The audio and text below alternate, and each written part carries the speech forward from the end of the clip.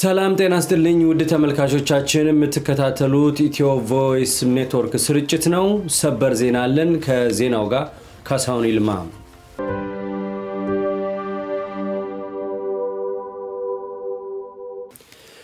በአማራ ክልል ፋኖ ህዝባዊ ኃይል የሚያደርገውን የሽምቅ ውጊያ አጠናክሮ ቀጥሎም በርካታ ቦታዎችን መቆጣጠሩ ታወቀ። በተለያዩ አቅጣጫ ሽንፈት የገጠመው የአገዛዙ ሰራዊት የኮማንዶ ኃይል በኮምቦልቻ አየር ማረፊያ በኩል ማምጣቱን የኢቪኤን ምንጮች አረጋግጠዋል። ለአማራ ህዝብ የመኖር ህልውና እዋጋለሁ የሚለው የፋኖ ህዝባዊ ኃይል በወረኢሉ በከላላ ጀማ ደጎሎ ባደረገው የሽምቅ ውጊያ የጃማ ደጎሎን የፖሊስ ኃላፊ ጨምሮ መከላከያን መንገድ እየመሩ የሚያስጠቁትን ሚሊሻና ፖሊሶች ሙሉ ለሙሉ መደምሰሱ ታውቋል።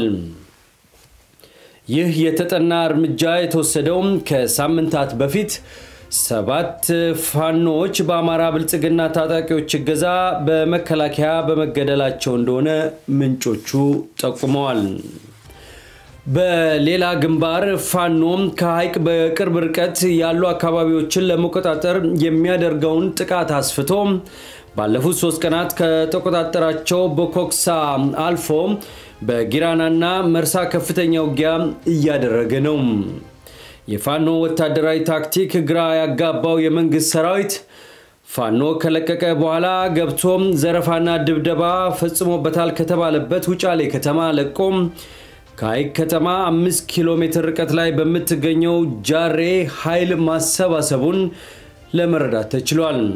ከዚህ በተጨማሪ በውጫሌ፣ በመርሳ፣ በውርጌሳ፣ በጉባና በጊራና እንዲሁም በቦኮክሳ በፋኖ ከባድ የሽምቅ ውጊያ የተዳከመው የመንግስት መከላከያ ሰራዊት ትላንትና ወደ ኋላ አፈግፍጎ በሐይቅ ተራሮች ላይ መድፎች መትከሉ ታውቋል። በደላንታ ሽንፈት የገጠመው ይኸው ሰራዊት አፈግፍጎም በተንታና ኩታበር መስፈሩም ተገልጿል። ቦኮክሳን የተቆጣጠረው ፋኖ ሐሙስ ምሽቱን ቢስቲማን ተቆጣጥሮ ማደሩ ተገልጿል። በእነዚህ የፋኖ ድሎች የተደናገጠው የክልሉ የአማራ ብልጽግና አመራሮች ቤተሰቦቻቸውን ወደ ደብረ ብርሃንና አዲስ አበባ እያሸሹ እንደሆነ የኢቪኤን ምንጮች ገልጸዋል።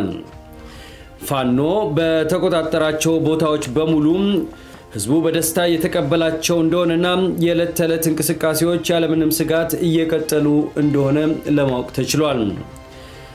በተያያዘ ዜና ሐሙስ በደብረ ብርሃን ከተማ በሚገኝ ፖሊስ ጣቢያ ላይ የቦምብ ጥቃት እንደተፈጸመና ጥቃቱን የፈጸመው ማን እንደሆነና የጉዳቱ መጠን እንዳልታወቀ የሰሜን ሸዋ ምንጮቻችን ባደረሱን መረጃ ለማወቅ ተችሏል። ሰሜን ወሎን ለቆ በደቡብ ወሎ የሚንቀሳቀሰው በምሬ ወዳጆ የሚመራው የፋኖ ኃይል ነው በሚል የመንግስት ሰራዊት ኃይሉን በደሴ ዙሪያ እያከማቸ ሲሆን ፋኖቹን ወደ አንድ አቅጣጫ ለመሳብና በድሮንና በኮማንዶ የታገዘ ጥቃት ለማድረስ እየሞከረ መሆኑን የመረጃ ምንጮቻችን ጠቁመዋል። ይሁን እንጂ የፋኖ የሽምቅ ውጊያ ለወታደራዊ ታክቲክ አስቸጋሪ እንደሆነና ለመንግስት ሰራዊት ከባድ እንደሚያደርገው እነዚሁ ምንጮች እየገለጹ ነው። ተመልካቾቻችን ተጨማሪ መረጃዎችን ይዘን መልሰን እንገናኛለን። ዜናውን ያቀረብኩላችሁ ካሳሁን ይልማ ነኝ ከኢቪኤን የተለያዩ ዝግጅቶች ጋር መልካም ቆይታ